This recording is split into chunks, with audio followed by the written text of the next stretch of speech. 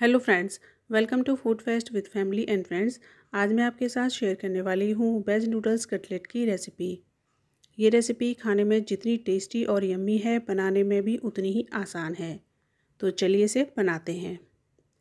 और अगर अभी तक आपने मेरे चैनल को सब्सक्राइब नहीं किया है तो अभी कर लीजिए, जिससे कि आप मेरी आने वाली नई रेसिपीज़ को भी देख सकें। वो भी बिल्कुल फ्री में। और वेल आइकन को प्रेस करना ना भूलें। नूडल कटलेट बनाने के लिए सबसे पहले मैंने कढ़ाई में एक गिलास के लगभग पानी डालकर गैस पर गर्म करने रख दिया है। फिर इसमें ऐड किया है नूडल्स का एक पैक। और इसे सिर्फ़ दो मिनट तक ही बॉईल करना है। और ये देखिए लगभग दो मिनट हो चुके हैं। और अब मैं इन्हें अलग प्लेट में निकाल लूँगी। और दो मिनट बॉईल होने के बाद जब आप इन्हें निकालेंगे तो आपको लगेगा कि ये अभी पूरे पके ही नहीं हैं। पर जब आप इन्हें थोड़ी देर ठंडा होने रखेंगे तो उसके बाद ये पूरी तरीके से अपनी ही हीट से कुक हो चुके होंगे। और अगर थोड़ी कसर रह भी जाएगी तो जब हम इन्हें फ्राई करेंगे तभी अच्छे से कुक हो ही जाएँगे। तो ये अब मैंने देखिए प्लेट में निकाल लिए हैं और इनका पानी कढ़ाई में ही रहने दिया है।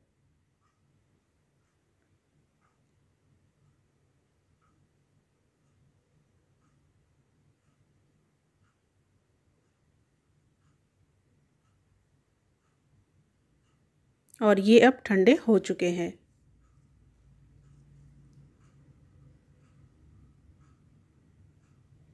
अब मैंने इन्हें एक बोल में पलट लिया है।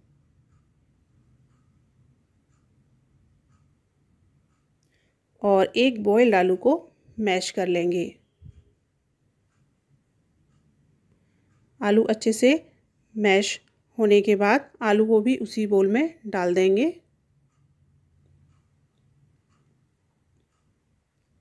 और अब मैंने इसमें कुछ वेजिटेबल्स ऐड की हैं और इसमें ऐड किया है वन टेबल स्पून के लगभग बारीक कटी हुई कैप्सिकम, एक हरी मिर्च के टुकड़े और वन टेबल स्पून चॉप्ड प्याज और धनिया पत्ती और टू टेबल स्पून के लगभग मटर।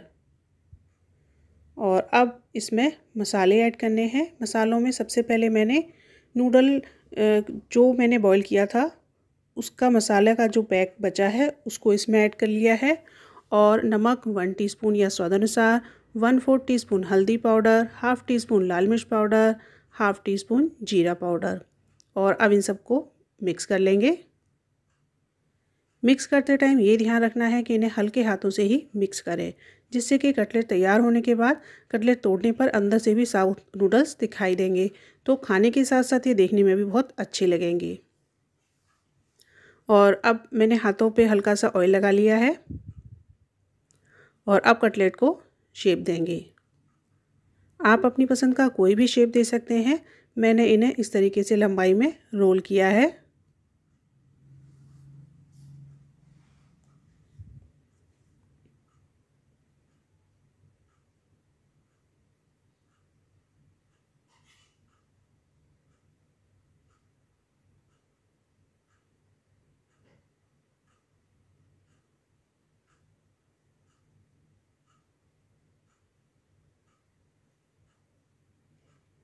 और ये देखिए, हमारे सभी कटलेट शेप ले चुके हैं।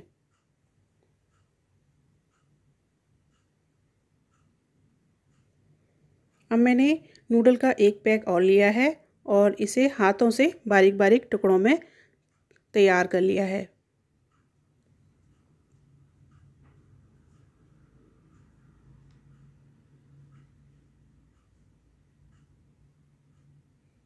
ये देखिए, इस तरह से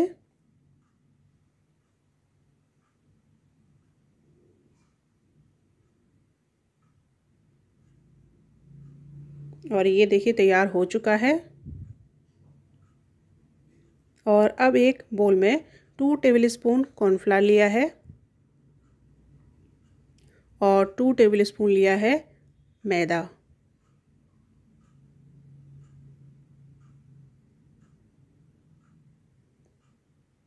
और अब इसमें थोड़ा थोड़ा पानी ऐड करके इसकी स्लरी बना लेंगे।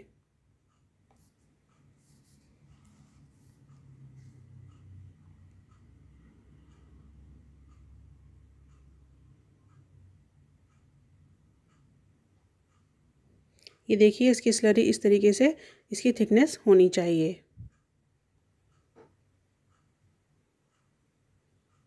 और साथ में रख लेंगे बारीक किए हुए नूडल्स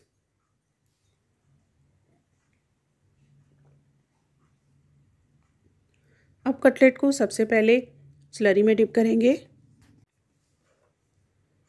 और स्लरी की कोटिंग अच्छे से होने के बाद उस पर कोट करेंगे नूडल्स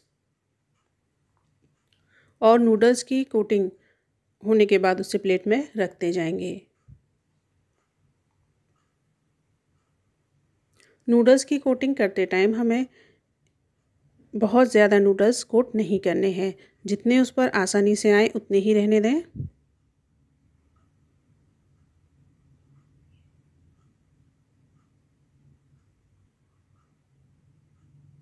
और ये देखिए, सभी कटलेट तैयार हैं फ्राई होने के लिए।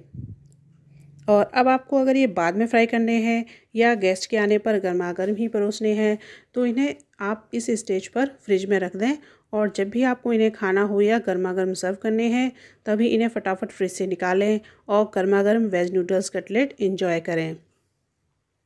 पैन में ऑयल गर्म हो गया है और अब इन कटलेट्स को गर्म ऑयल में डाल देंगे और कुछ ही देर बाद नीचे की तरफ़ से सिकने पर इन्हें पलट लेंगे।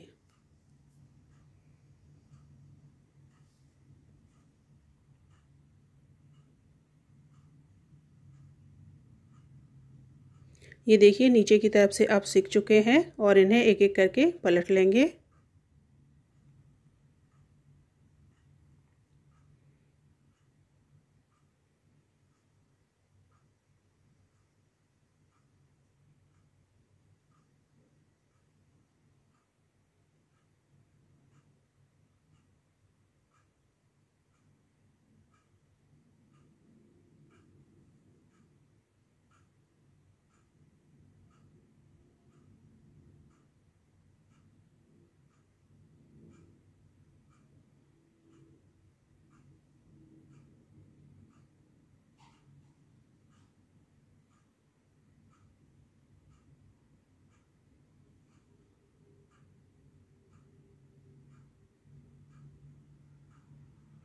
ये देखिए, सारे नूडल्स अच्छे से पलट लिए हैं।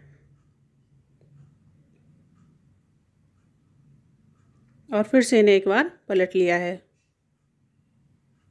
और चारों तरफ़ से क्रिस्प और गोल्डन ब्राउन होने तक इन्हें इसी तरीके से फ्राई कर लेंगे। और ये देखिए, सभी कटलेट अच्छे से फ्राई हो गए हैं और अब इन्हें प्लेट या थाली में निकाल लेंगे।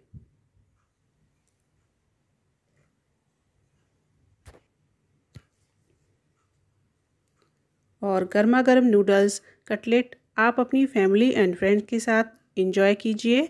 और आपको मेरी ये रेसिपी कैसी लगी, मुझे कमेंट करके ज़रूर बताइए।